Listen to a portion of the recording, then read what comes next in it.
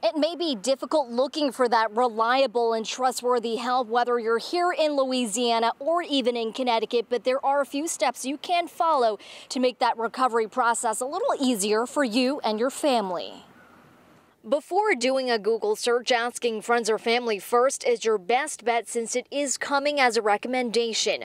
When you do find your contractor, get at least three bids for the work you want done. This ensures you are getting the proper repairs and it gives you an idea of how much it will cost. But also know when to spot a contractor who is going door to door giving you an offer too good to be true.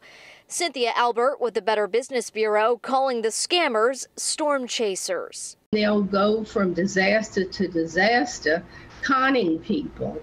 And that's what we really have to be very careful of by checking these people out. The Better Business Bureau also warning about a hurricane relief scam where you get a call, email, or text from someone claiming to be with FEMA or a government agency. The scammer will say you are approved for a $15,000 grant but ask you to purchase a $250 Walmart cash card to process your claim, which raises a red flag.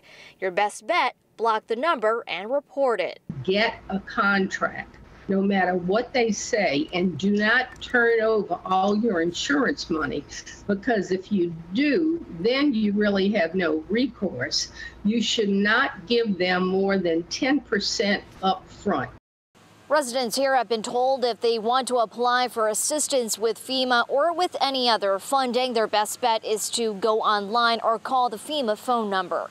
Reporting in Kenner, Louisiana, Carmen Chow, Fox 61 News.